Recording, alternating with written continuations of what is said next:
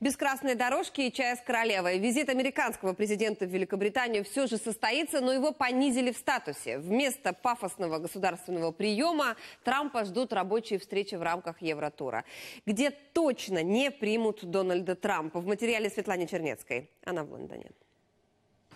Еще в начале года новоизбранный президент США получил официальное приглашение от Ее Величества посетить Великобританию.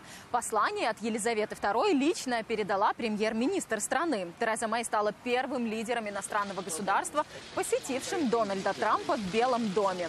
И в прессе еще долго говорили об особо теплых отношениях между ними. Конечно же, имея в виду сцену, когда лидеры держались за руки, спускаясь по ступенькам резиденции.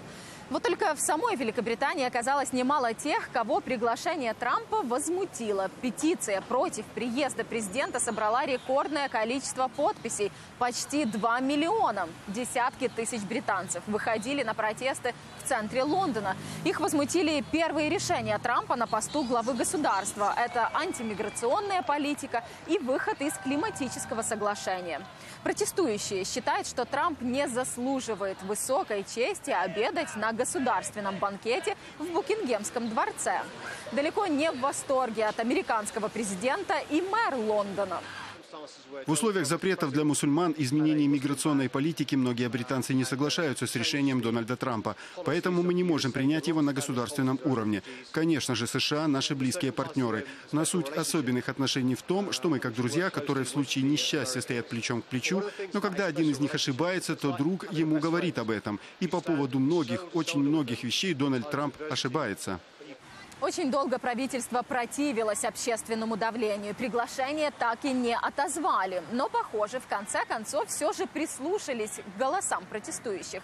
Стало известно, что визит Дональда Трампа состоится в начале следующего года. Но это будет не государственный визит со всеми почестями, то есть без банкета и личной аудиенции у Ее Величества.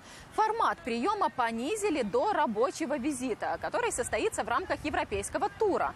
Раньше спикер британского парламента сообщил, что депутаты Трампа не ждут, так что не будет и традиционной речи.